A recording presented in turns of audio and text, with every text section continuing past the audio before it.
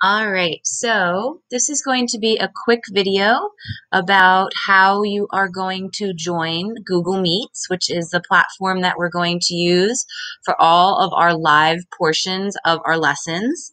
We are going to use it for whole group lessons, we're going to use it for small groups, and sometimes even one-on-one. -on -one. So in your Google Classroom, up here, you have this Meet link. It is the same link every time. It is not like Zoom where you need a different link every time. You need a password.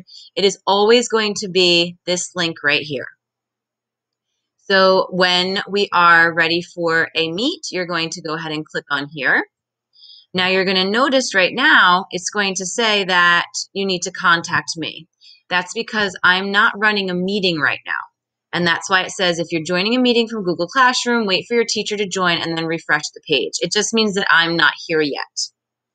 Um, when we begin our day, I will be here um, and you will join me and we'll get our day started. And each time we get together for a lesson, we're going to begin most of the times in a Google Meet.